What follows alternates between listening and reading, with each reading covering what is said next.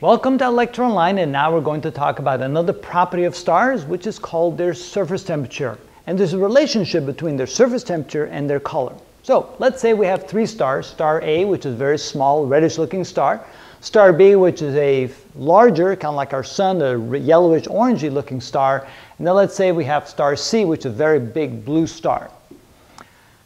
The colors are associated with their temperatures, and the temperatures associated with the types of radiation that we get from the stars. So when we look at the radiation curve from a star like star A, a very small red star, we find that the majority of the radiation is emitted in the infrared band, and the peak of the radiation occurs at a much higher wavelength, much longer wavelengths, for example, 950 nanometers. The visible light spectrum here is just towards the left of the spectrum of the emission. Remember, all stars emit radiation like a black body, and so we have this typical radi uh, radiation curve. And you can see that the predominant radiation for a small red star is in the infrared, peak wavelength 950 nanometers. For a star like the Sun, the peak wavelength falls in the visible light range, and in this case, for example, let's say 600 nanometers, which is very close to what the Sun puts out. And you can see that there's some UV radiated and some infrared, but at the center where the, the, the greatest amount of radiation falls is in the visible light range. Then if we look at star C, where the star is a big blue star, you can see that the radiation curve shows that there's much more radiation, they're much more luminous, and that a very large portion of radiation falls into the UV radiation. The visible light spectrum is over here. You can see that the peak occurs not in the visible light spectrum, but in the UV spectrum, and let's say that the peak wavelength is at 200 nanometers. Now, because of Wien's law, we're able to relate the temperature to the wavelength of that peak radiation. All we have to do is take the number 0.029 and divide it by that peak wavelength, and we actually get the surface temperature of those stars. So let's try it. For star A, the temperature of star A is therefore equal to 0.0029 divided by the wavelength, which would be 950 times 10 to the minus 9 meters.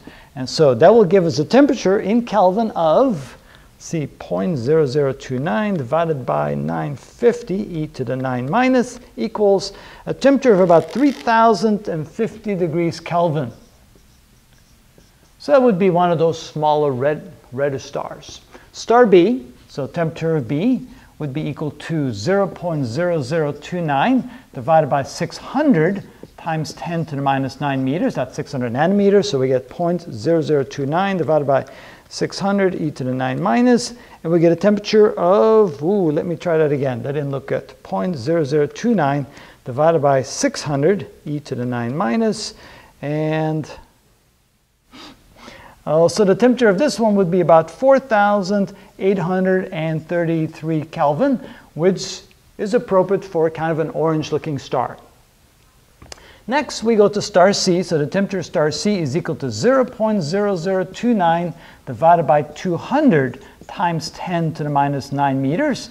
And that star, let's see here, would have a surface temperature of 0.0029 divided by 200 e to the 9 minus, and we get 14,500. So 14,500 Kelvin. So notice with Wien's law, it's fairly straightforward to be able to tell the surface temperature of stars simply by realizing and measuring where the peak radiation lies. Small red stars in the infrared, medium-sized stars like the sun or smaller than the sun would be in the visible light range, and finally star C would be um, a very big, uh, very bright and big blue star with peak wavelength in the UV radiation band to the left of visible light, and those are very hot stars as you can tell.